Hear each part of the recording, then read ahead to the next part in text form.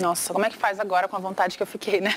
Assim a gente encerra o Band Notícias. Obrigada pela companhia. Muito obrigado por estar com a gente mais uma vez. Você fica agora com o filme O Idiota do Meu Irmão, uma comédia de família. Bom filme, boa noite e até amanhã, até amanhã. 10 da noite.